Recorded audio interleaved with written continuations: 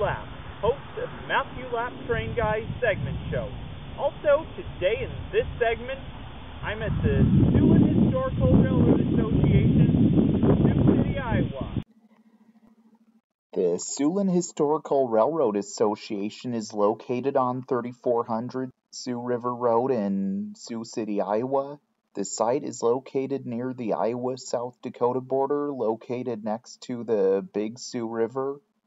The museum is what used to be the site of the maintenance facility for the Chicago, Milwaukee, and St. Paul Railroad in the city.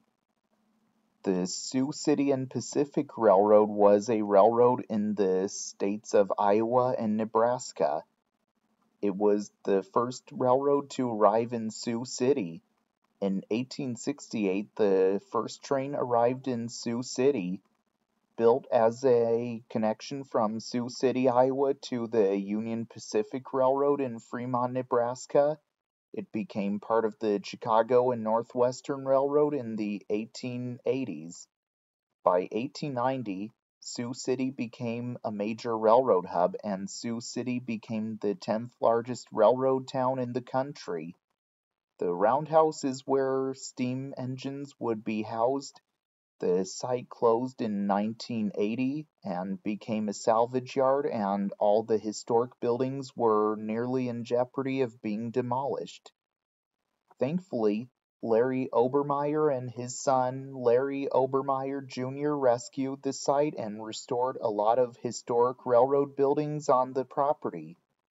The site soon became what is known as the Sioux City Railroad Museum.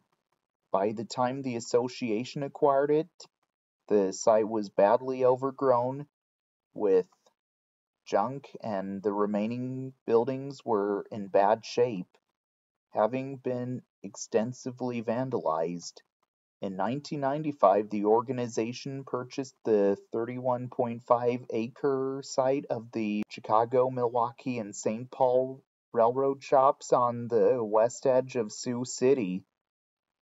A lot of the historic buildings were falling into disrepair, and only seven of the original structures remain. Once the site was purchased, Work began to restore the old buildings, including the roundhouse, to become what is now a museum. The museum added several different locomotives and train cars over the years to the collection, and even railroad artifacts. The museum even gives train rides, including on the standard gauge tracks they mainly used the speeder and some flatbeds to go from the turntable till the line ends at where it meets up with the Burlington Northern Santa Fe Railroad tracks.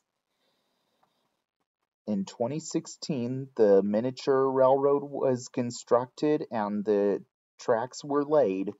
Once the first train ride was given on the 15 inch gauge tracks, the train could only operate back and forth until the year 2018. As you can tell by these footages, the miniature train started going in a complete circle around the museum grounds. Today, the museum continues to preserve a lot of railroad history from other railroads besides the Chicago, Milwaukee, and St. Paul Railroad and a lot of railroad artifacts as well, as it still does today.